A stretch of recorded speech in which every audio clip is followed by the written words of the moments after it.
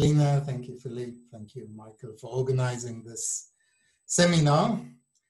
Um, and I want to tell you about what is somewhat of a recreational topic, uh, which blends together uh, very classical things in lattice point theory and uh, mathematical physics and uh, very classical things in prime number theory, which is, I think, have not been blended before and maybe will not be blended again. And this is joint work with Bingrong Huang here, who was my postdoc at Tel Aviv and is now back in Shandong in, uh, in Jinan in China. Okay, so um, so let's start with the famous Gauss lattice point problem. And this is the question of if I give you a large disk, how many lattice points does this disk contain? And the standard guess is that the number of lattice points is roughly the area of the disk. This is, you look at it at a large disk, so the asymptotic parameter is the radius, and this, in the limit of large radius, you want the number of lattice points to be asymptotically equal to the area of that disk, which is pi r squared. So I'm going to give you one proof because that proof is actually insightful. It will tell you what to expect uh, and what not to expect. So let's Let's go through the proof. How do you prove that the number of lattice points is roughly the area with the remainder, which is roughly the uh, length of the perimeter? Around each lattice point, you put a unit square. So you center a unit square at the lattice point. So you get a bunch of unit squares, which are disjoint except for the boundary. And the, the union, this yellow shape here, is, is a, some kind of polygon, the area of this polygon is just the number of unit squares because the area of each square is one. That's the way I define the squares. So the area of this polygon is exactly the number of lattice points. Now, that the area of the polygon is roughly the same as the area of the disk. In fact, we can see something a little more precise. If we look at, uh, at a disk which circumscribes that polygon, so that the radius of the disk will be, let's say, the radius of the original disk plus 2 or plus 1. So that polygon is wholly contained in this big disk. And so its area is less than the area of the big disk, which is pi times r plus 1 squared. And in turn, that polygon uh, circumscribe a smaller disk of radius r minus 2. And so the area of the polygon is bigger than the area of the smaller disk, which is pi r minus 2 squared. And if you expand what these squares are, you'll get pi times r squared, which is over here. And the difference would be something like pi times r. And this is what it says over here. That the difference between the number of lattice points, which is the area of the polygon, and the area of the disk is at most the circumference of the disk. So this is how you prove this fact that um, the, the main term is the area and the remainder term is at most the length of the perimeter. Okay, so the question that people ask is, is the length of the perimeter, perimeter really the right answer? And very quickly they understood that it's not. So, and then there was a race to improve the remainder term. And uh, over 100 years ago, uh, people improved the remainder term from the length of the perimeter to a smaller power, to the perimeter to the two thirds. And then there was a huge amount of work over the last 100 years in trying to improve this two thirds to something else. Uh, there are many famous names associated to it. And the current rec world record is very recent. Uh, it's work by the late John Bourgain and Nigel Watts, which gives some number. And the only thing I want to note about this number is that it's clearly less than two thirds. However, it is bigger than 0.5, it's bigger than a half. And the conjecture, which is due to Hardy, is that the remainder term is roughly of size the radius to the half. Okay, so that's the conjecture. I'm going to prove it to you in a second. Next slide will be a proof. This is a time when you guys want to disconnect me. We said no lunatics. we send them to a waiting room. Okay, now uh, never mind the upper bound. Let's forget that because I'm, I, I, I want to say right now I have nothing to, to add to the upper bound. Um, but it was already known 100 years ago that you cannot do better than exponent a half. For instance, Cramer uh, computed the mean square, the average, the, the average of the square of this remainder term once you normalize it. So if if the remainder was less than r to the half, this this difference normalized here would be a negative power of the radius. And so when you integrate it, you will get something which shrinks. When you average it, you'll get something which tends to zero. But he showed that the mean square actually has a limit, which is not zero, which is positive. So that immediately tells you you cannot get a smaller remainder term all the time. And there's work about uh, how, how uh, how much worse than square root of r can you get, and the, the, you can get uh, something, some kind of power of log times the power of log log, and again, there's a huge amount of work on this, and the current world record, which is probably very close to the truth, is due to Sound, uh, it's here. I don't want to even say what it is. Okay, so this is my promise to try to prove the remainder term. I did say to try, so don't, don't send me to the waiting room. Uh, let's go back to our proof of the, the estimate that the distance between the number of lattice points and the area is at most the length of the perimeter. So when we compared the area of the polygon and the areas of the two disks, the inscribed and superscribed disk, uh, we were off by things that lie on the boundary. And some of the things we overcounted and some of them we undercounted. So the difference between the area of the polygon, which is the number of lattice points, and the area of the disk is a sum of terms along the perimeter which come with signs.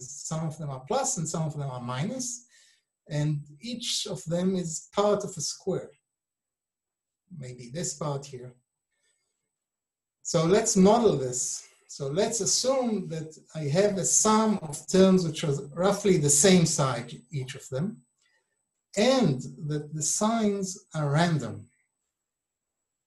So if you give me that, if you give me that, let's remember the central limit theorem. The central limit theorem says that if you take a sum of independent coin flips, the sum of independent plus minus ones, if you take n of them, then divide by square root of that number, then typically that ratio is of is bounded. Therefore, therefore, if we believe this analogy, you believe then we believe that typically the remainder term is really of size square root of r, which is exactly this Hardy conjecture. So if I'm a physicist, I'm done. I've proved it. Okay?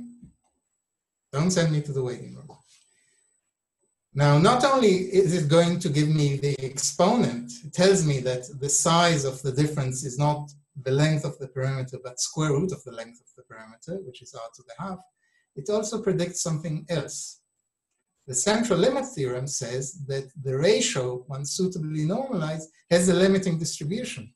So the probability that this ratio of the n plus minus 1 divided by square root of n, the probability that it lies between 1 and 2 tends, as uh, you increase the number of coin flips, to the area of the Gaussian over that interval, which is this probability distribution. So here's a prediction made by this heuristic that if you look at the normalized remainder term and think of the radius as a random quantity, then you expect a Gaussian distribution. Okay, so that's that's what uh, my attempt to prove the to solve the circle problem led me to. It gave me the right exponent and it gave me a prediction for the remainder term. So let's check this. So already in 1940, Aurel Wintner uh, proved that this ratio, the normalized remainder term, has a limiting distribution. And this, this, this was rediscovered because Wintner's papers are very difficult to read. They are sort of stream of consciousness papers. Uh, I, I, had the misfortune of reading his collected works, and it's very hard to extract a statement from them. But once you know what to look for, it's there. Anyway, this was rediscovered by, by Heath Brown, and the statement is that indeed there is a limiting distribution. That's number one. Here is a picture of this limiting distribution. It does not look like a Gaussian. For instance, it's not symmetric. And this was in fact proved by, by uh, Kaiman Tsang, who was uh, Heath Brown's postdoc at the time. Um, and he showed that the third moment of this distribution is not zero. So that says that it cannot be a Gaussian because a Gaussian is a symmetric distribution. A symmetric distribution only has has all its odd moments vanishing. It only has non-zero even moments. Um, so that that sort of puts a damper on my attempt to prove the circle, the Hardy's conjecture, the circle problem using independence because independence predicts a, a Gaussian, while the reality is that this distribution does exist, but is not a Gaussian. And we know quite a lot about the distribution now. It is um, uh, real analytic, and it decays much faster than the Gaussian. It it's almost compactly supported. It decays instead of like e to the minus u squared, it decays like e to the minus u to the fourth. So uh, there is a distribution, it's not Gaussian. So we can't use this heuristic to generate a proof because it predicts something wrong. Okay, so now that we understand the circle, let's try to look at more general planar domains. So I'm going to play the same game, it's just repeating the slides with a slightly different uh, shape. So instead of taking a circle and dilating it, you take your favorite shape in the plane. There has to be some caveats. So let's take a convex shape. This is, this is a serious caveat. And with the smooth boundary, this is another serious caveat, which has no zero curvature, and that's another non-trivial condition. An example is an ellipse. I'll show you a few other examples. Um, let's call a domain like this an oval. And we play the same game. We take this oval, dilate it, and count the number of lattice points inside. And then repeat the same argument as we did before, and you will find that the number of lattice points is asymptotically the area of this dilated oval, which is the area of the original oval times r squared. And the remainder term can be proved uh, to have roughly the same upper bound as we know for the circle. I think we know everything as far as upper bounds for the circle as for these more general shapes under these caveats of smooth boundary with no zero curvature and convexity. Uh, and again, the conjecture is with the same kind of heuristic that the correct the correct exponent in the remainder term is a half. And we also know that you cannot do better in, uh, with the same, same ideas. And once you know this, you again play this game of looking at the remainder term, normalizing it, and thinking of the dilating parameter as a random variable. And uh, one proves, and this was done by Pavel Bleher about, geez, almost 30 years ago, that there is always a limiting distribution, which has pretty much the same features as the, the limiting distribution for a circle. Uh, but that distribution is not universal. So not only is it not a Gaussian, it's not universal. It depends on the shape. So here is here are two examples. Both of them are ellipses. We take an ellipse, and here is the limiting distribution if the eccentricity is pi over 10. And here is the limiting distribution if the eccentricity is pi over 50. So just two different distributions. So they are really depending on the shape. Was there a question? So the chat flashing.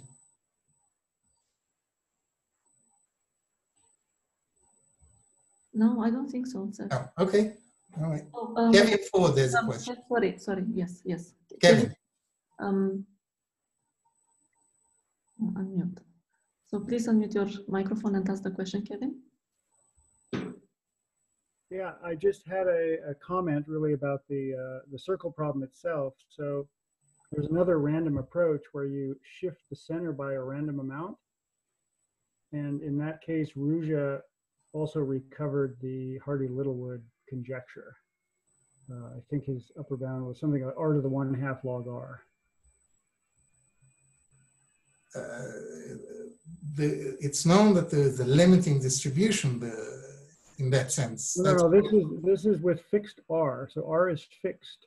oh, when R is fixed. Ah, when R is So it's fixed. different- It's, it's somewhat orthogonal to what you. you Yeah, this is an orthogonal question, but I, I understand the, I understand this the statement. That's an interesting statement. So for me, the shape is fixed, and the only random the random parameter is the dilate the dilation parameter, the radius. You're saying you take the fixed shape and move the move it around in a random manner Right, right. without without dilating it. Yeah, that's a, that's a, an interesting statement. That is, as you say, orthogonal to what I'm saying. Um, yeah, it's certainly an interesting thing to study, and people have studied the hybrid version, uh, where you take a random center, but also take the radius to infinity in a random way. This this was done because of motivation coming from mathematical physics, um, which I will touch on a little later. This was done by uh, Joe Lebowitz and uh, and the late Freeman Dyson and Cheng and some other and Bleher and some other people. Okay, any any more questions? This is a good time to to ask.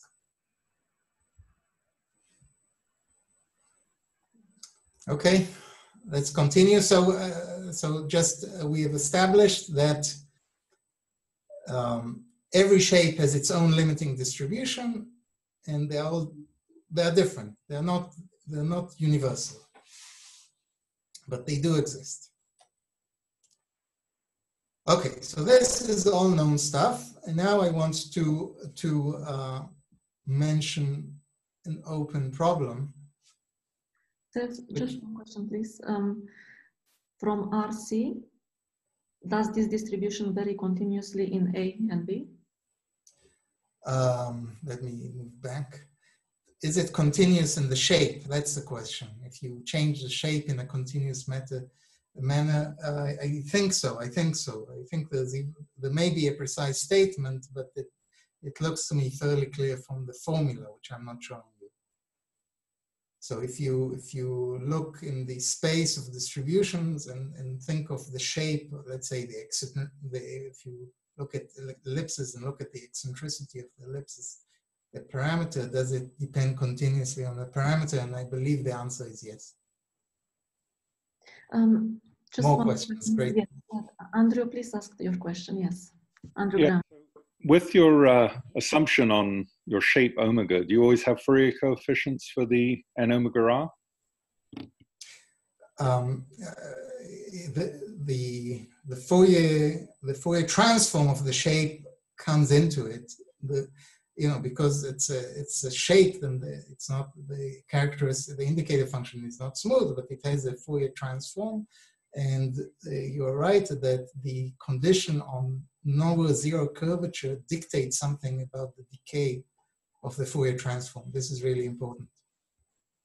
So if you take a fractal shape, God forbid, then then you have a problem. If you take a shape with corners or with points, even if it's smooth, points where the curvature is zero, then you will get a different answer. The exponent need not longer be, no longer need to be a half. And this is dictated by the smoothness and curvature of the boundary. So that's, Andrew put his finger on it. That's one reason why I made this assumption to have sort of a, a clean statement.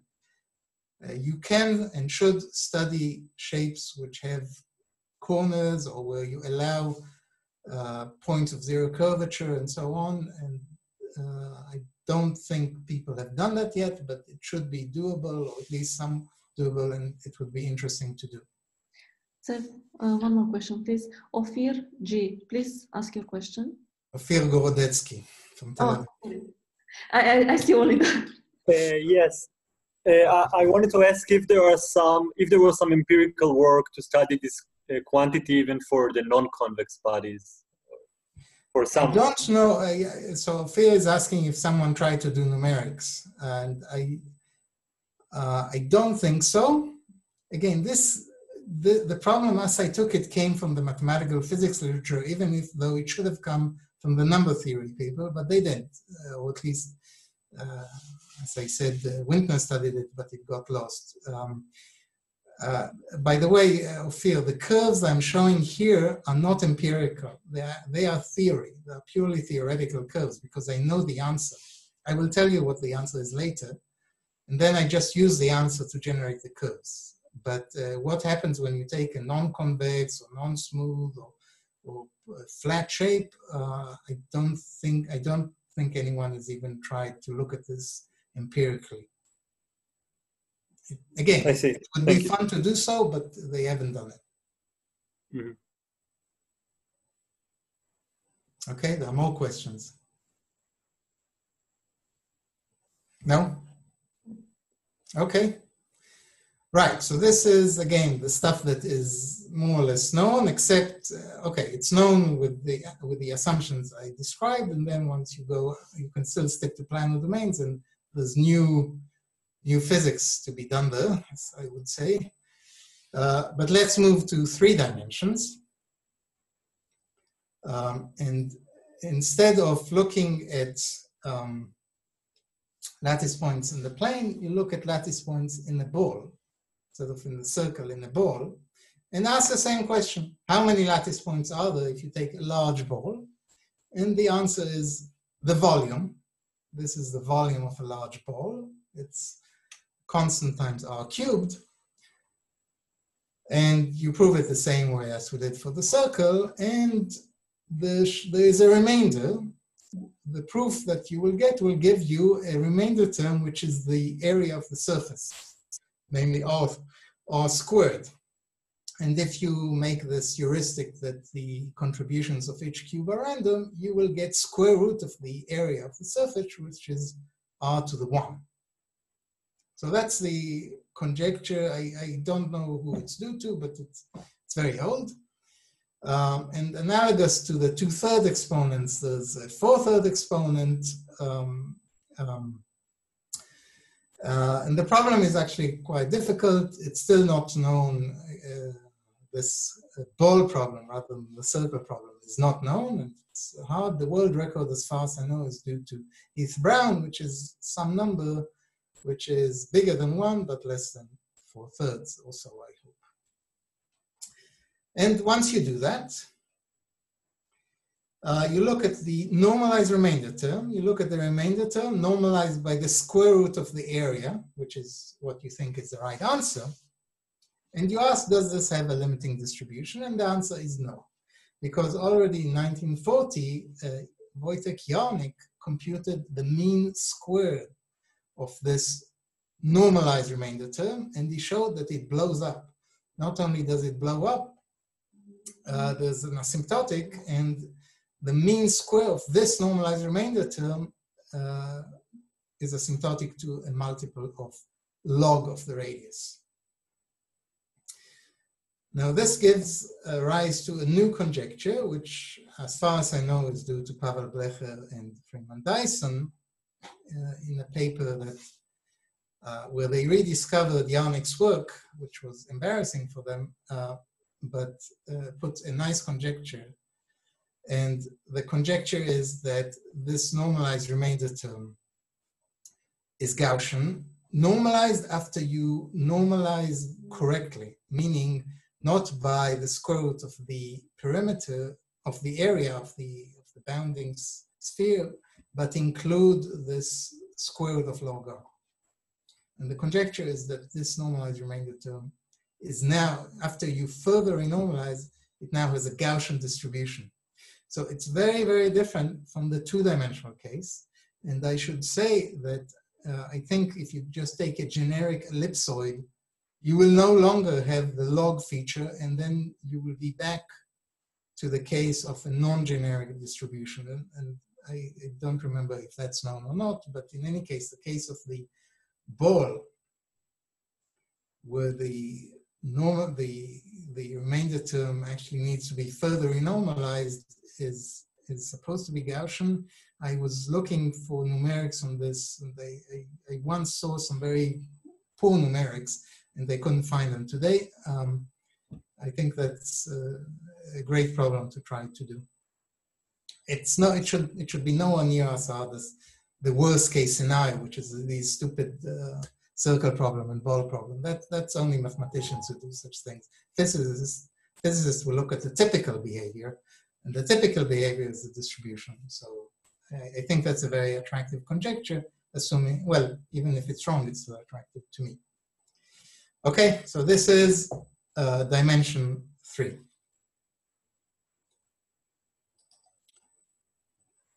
Uh, so I, I, keep telling you that uh, I'm motivated uh, in looking at this uh, from problems in mathematical physics. So let me just spend uh, two slides sending people to know where to look. so where do such problems arise is if we look at what is called Weyl's law.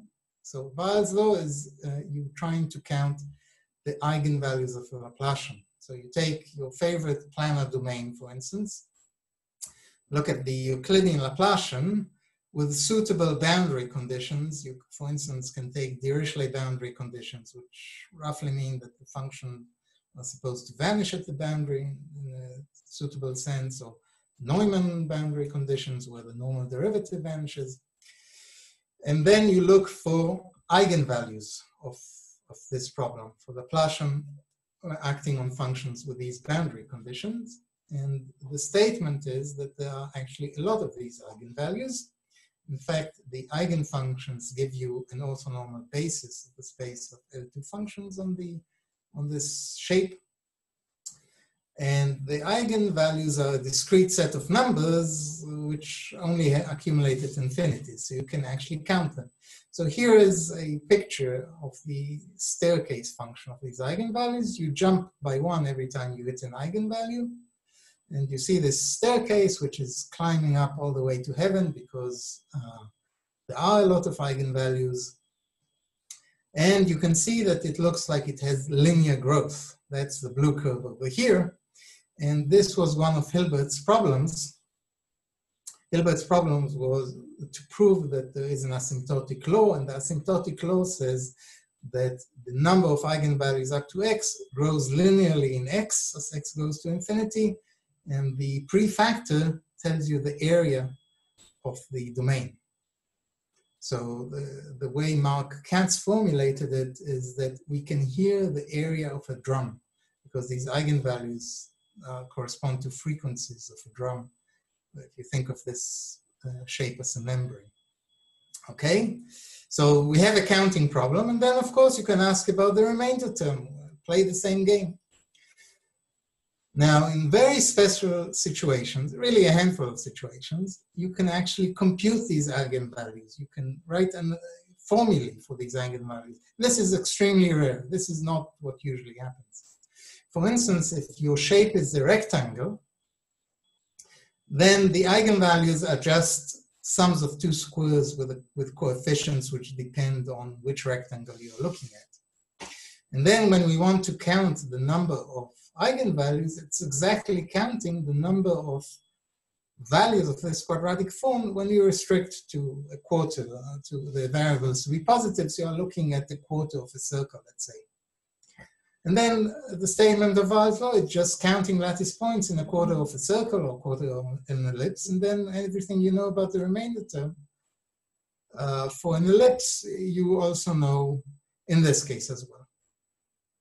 Okay, so this is how to prove Weyls law in this special case, except it's not so special. And then there are some, again, very rare other cases uh, where the eigenvalues can be parameterized not as directly, but at least approximated by, by things which come from lattice points. And for instance, if you take a disk as your domain, then the eigenvalues are squares of zeros of Bessel functions, and those have a semi-classical approximation in terms of lattice points and surfaces of revolutions and so on. And in some of these cases, for instance, in some surfaces of the revolution, uh, the remainder term has been investigated as far as the limiting distribution, and you find something that looks similar to what happens in, in the circle problem. That is, there is a non-Gaussian distribution. Uh, in other, for instance, this is not known if you take the eigenvalues of the disk but in some cases it is not. So I think that's an interesting uh, motivation to look at these cases. And uh, as I said, for most shapes in the plane, the eigenvalues are not explicitly they're not explicitly solvable. We don't know what these eigenvalues are, except that we know that they exist. Otherwise, Weyl wouldn't be such a big thing. Um, but you can still try to study these remainder terms, and there's a very interesting conjecture uh, that says that if you take a shape where the billiard flow is chaotic, and I don't want to say what that means, but it's something that uh, an example is you take a stadium, which means you take a rectangle and stick two semicircles on the side, then desymmetrize it by just taking a quarter of the shape, then the eigenvalues are not, we don't know what they are, but we can, one can numerically compute them using finite element method, for instance, and look at the statistics of the remainder term. And there's an interesting, let's call it conjecture coming from work by physicists from uh, Frank Steiner in Ulm and his team, Ralf Aurich and Jens that indicates that maybe for these chaotic state uh, situations, the, the limiting distribution is Gaussian. I don't know whether this is true or not, but it's something that one should bear in mind. There's, I had some little project many years ago about the modular domain for, for the hyperbolic Laplacian where I gave some support for this. Okay, so I want to move on to my last subject, uh, which is uh, much more arithmetic, which has to do with primes. So I want to do a two-dimensional prime number theorem, uh, but let's remember the one-dimensional prime number theorem first. So pi of x is the number of primes up to x. In this audience, I don't think we need to explain what this is.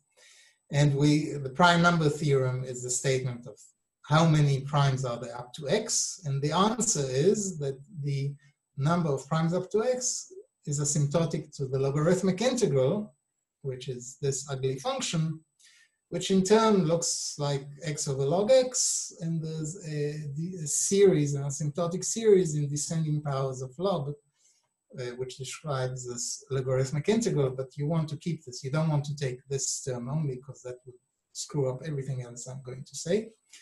Uh, and in case you're not happy which uh, most people are with this ugly function, instead of instead of counting primes, you can look at you can prime you can count prime or prime powers weighted by the logarithm of this corresponding prime. This is called the von Mangoldt function, and then this Chebyshev function, instead of being asymptotic to lie of x, is now supposed to be asymptotic to x. You smooth out this remained this main term. And um, and uh, so this is the prime number theorem, which was proved over 120 years ago.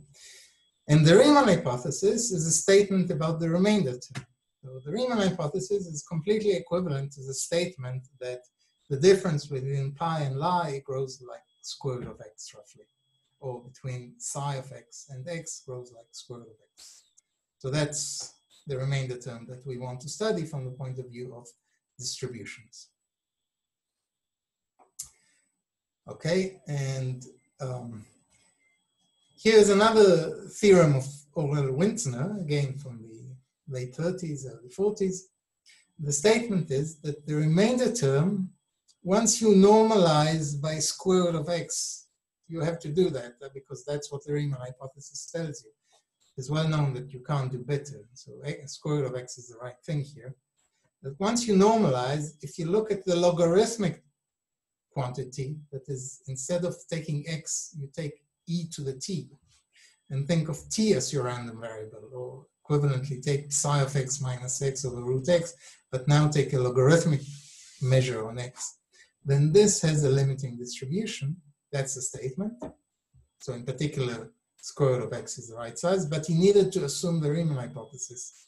So there was no question of the, the right size.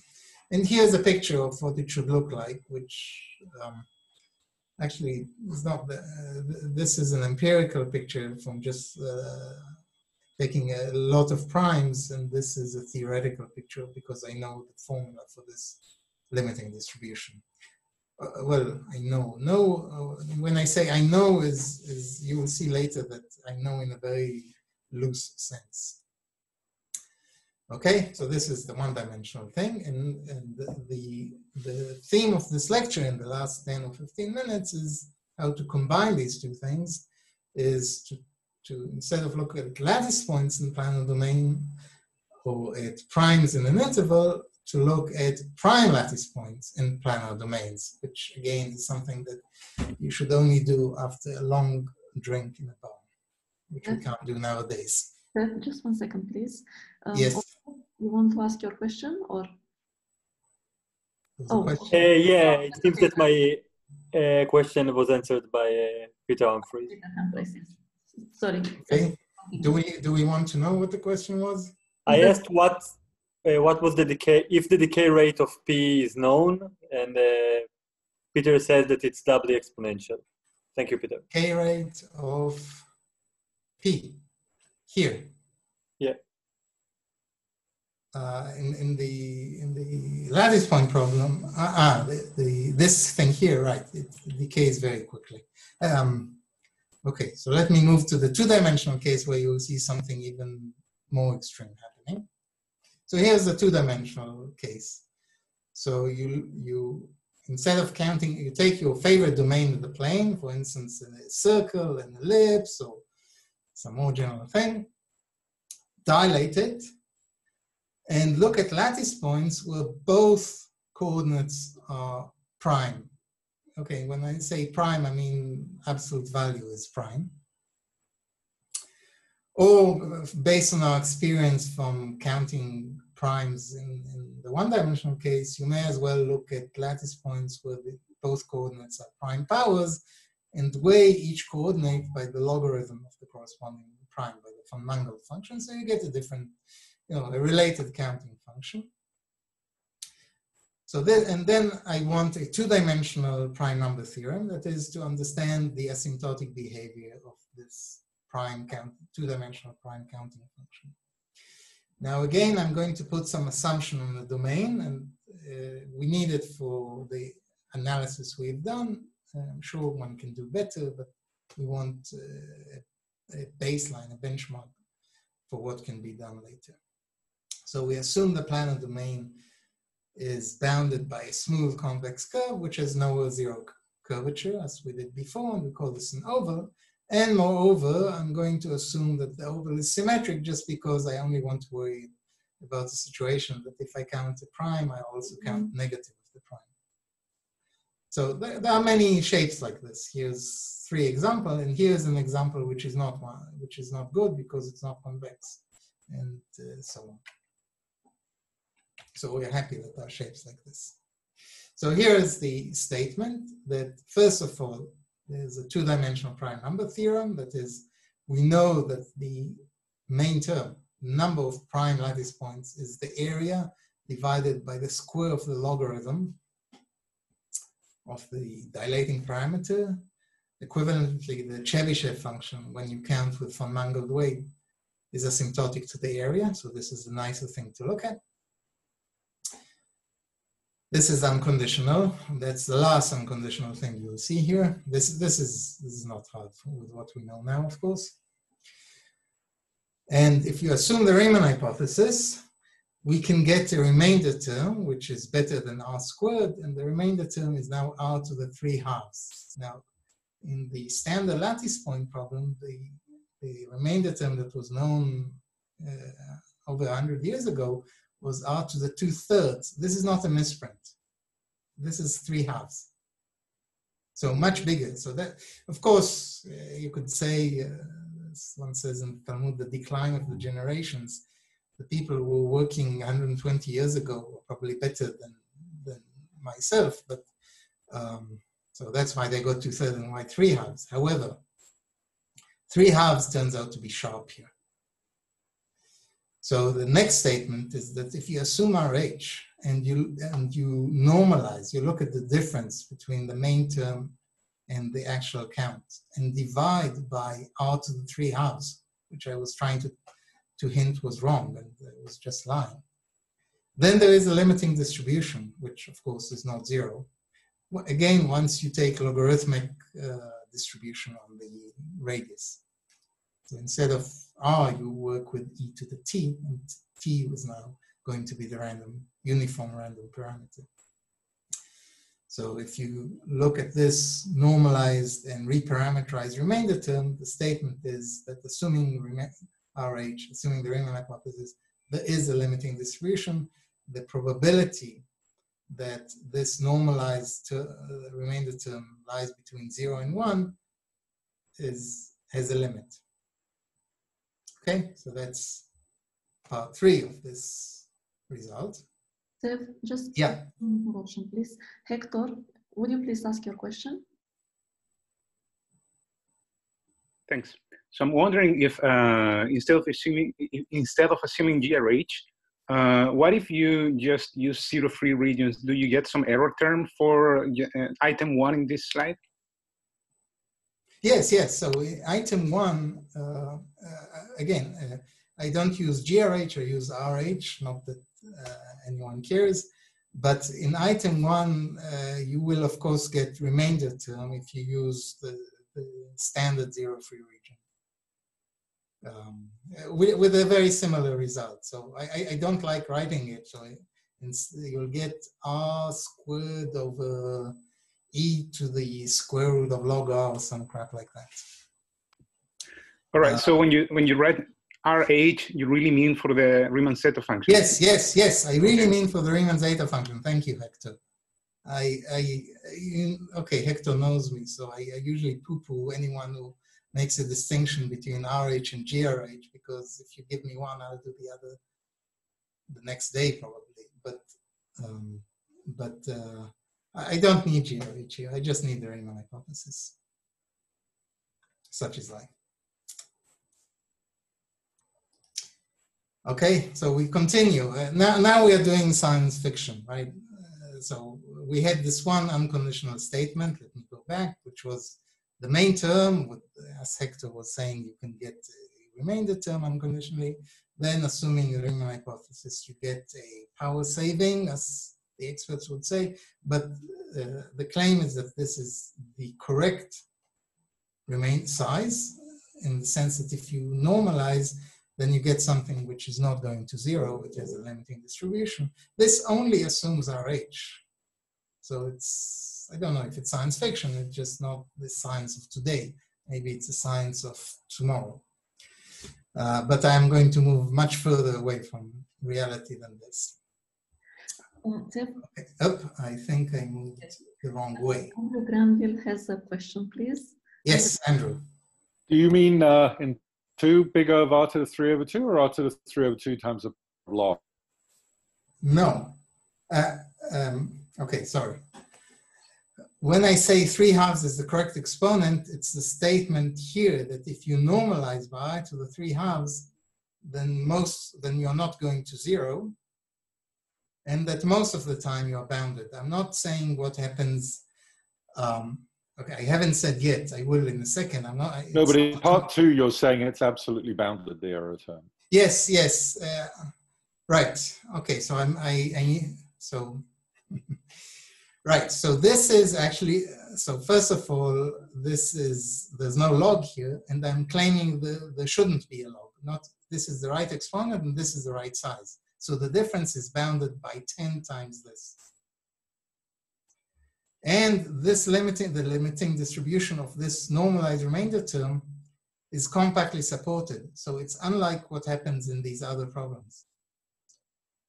There are none of these funny logs and log logs and horrible things like this. Here, the difference is really bounded by 10 times r to the 3 house.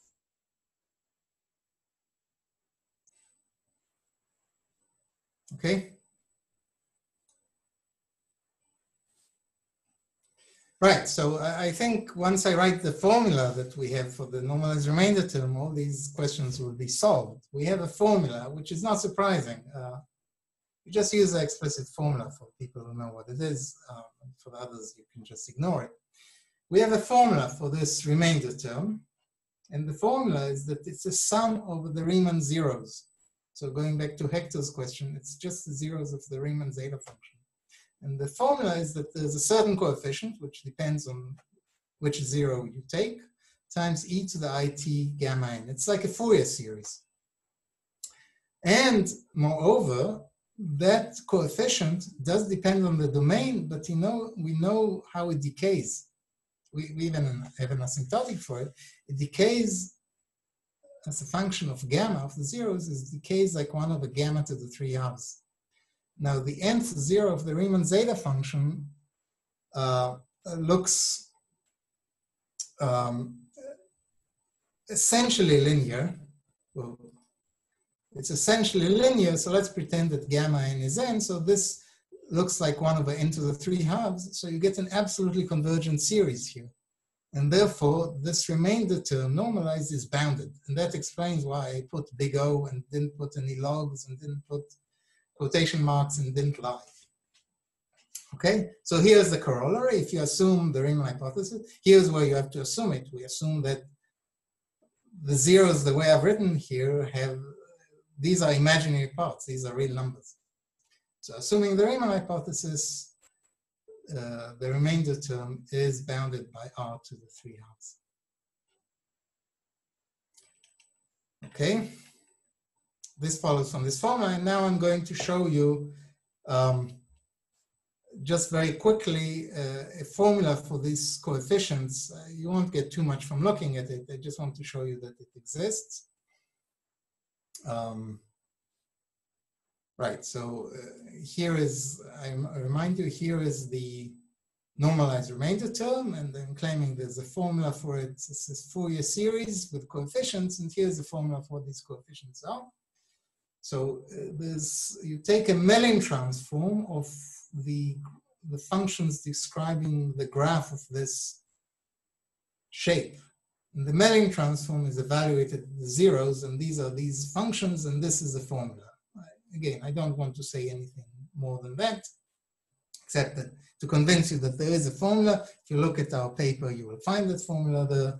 And that formula depends, among other things, has the geometry of the boundary built into it because uh, one of the quantities that come in is the curvature of the shape at the vertices. These are special points because of the symmetry. These are local extrema of the curvature. And so it builds into them somehow and it decays like um, the parameter to the three halves. And this is really crucial because that makes this, this series actually absolutely convergent, which makes it much easier to handle than the one-dimensional prime number theorem where this analogous series does not converge. Okay, so this was science fiction. Now let's move into uh, science fantasy or whatever you call it.